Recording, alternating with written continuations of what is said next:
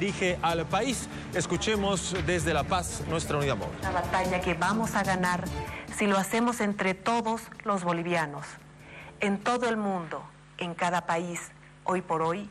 Esta es una batalla muy difícil, pero ante grandes amenazas, grandes respuestas. Con esfuerzo, con unidad y con disciplina lo vamos a lograr. Hace dos meses comenzamos a enfrentar el virus. Lo hicimos junto a la Organización Mundial de la Salud. Esta semana declaré la emergencia nacional y tomé las siguientes medidas. Ordené que ya no vengan vuelos de Europa, ni pasajeros de China, Corea del Sur, Italia y España. Ordené la suspensión de las clases a todo nivel. Ordené el control fuerte a todos los que pasen por nuestras fronteras. Ordené que no hayan más eventos masivos. Ordené que se habilite en Santa Cruz, la Paz y en todas las ciudades capitales, más el Alto, la infraestructura para atender de modo exclusivo a todos los casos confirmados de coronavirus. Ordené frenar y castigar con la ley la especulación con los productos médicos y con insumos que son para combatir el virus. Y hace dos días me reuní con la cooperación internacional para solicitar ayuda en la lucha contra el virus. Agradezco a los países y organismos amigos que han comprometido una cantidad importante de recursos para esta batalla.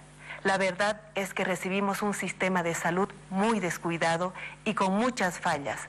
Por eso ahora nuestro esfuerzo debe ser el doble. Aún así, hemos tomado todas las medidas necesarias para habilitar nuestro sistema de salud lo mejor posible para afrontar esta crisis. Ya hemos ordenado que se ponga el 10% del presupuesto nacional para salud. Sabemos que las necesidades de la salud son muchas, la falta de ítems, la falta de equipos y la falta de especialistas, por ejemplo. También sabemos que la gente está cansada de las colas para ser atendida en los hospitales.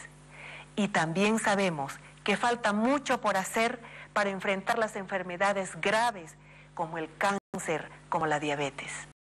Vamos a trabajar unidos para solucionar esos problemas y ahora en la emergencia vamos a trabajar unidos para enfrentar el coronavirus. Déjenme decirles algo con el corazón. Con la misma decisión con la que pacificamos el país, vamos a luchar contra el coronavirus. Aquí estoy, con ustedes, como presidenta, como mujer, como madre. Aquí estoy y unidos vamos a dar la batalla con coraje y valentía. Por eso esta noche anuncio las siguientes nuevas medidas contra el virus. A partir de mañana lunes, todo el sector público y privado trabajará en horario continuo.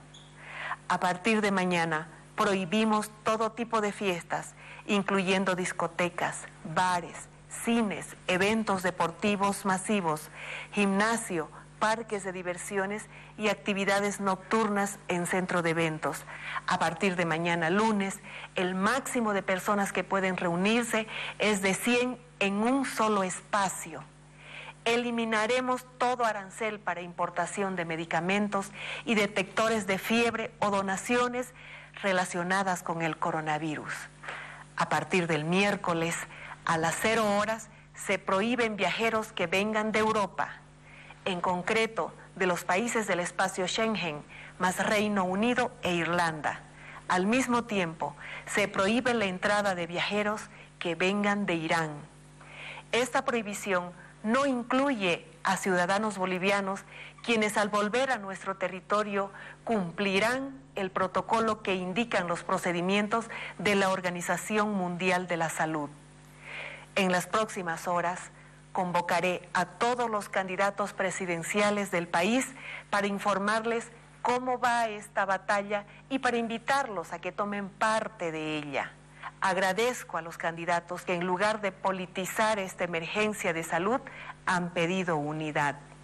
Mañana tendremos un gabinete extraordinario para discutir la aplicación de estas medidas y analizar la posibilidad de nuevas iniciativas. Por otro lado, esta noche quiero hacer cinco pedidos importantes.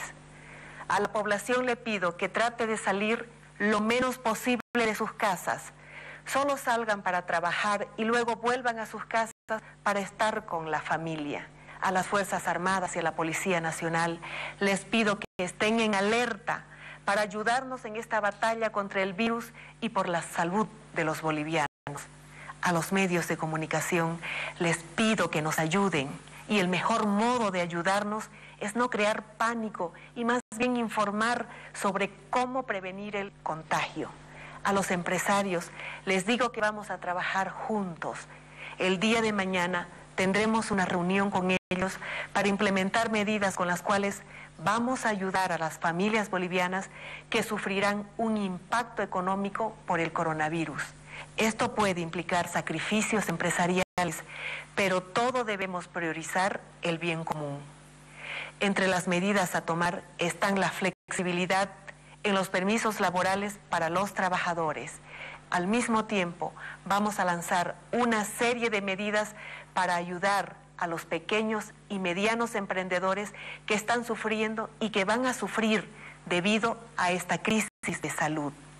Finalmente, les pido a todas las gobernaciones y alcaldías del país que trabajemos unidos. Vamos a trabajar entre todos y dentro de la ley y el orden.